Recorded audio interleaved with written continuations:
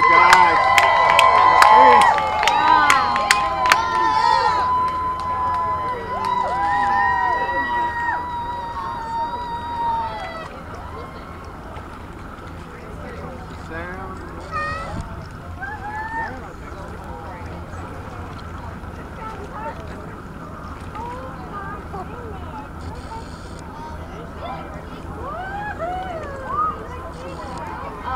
shit much better in the vernacular. Yeah.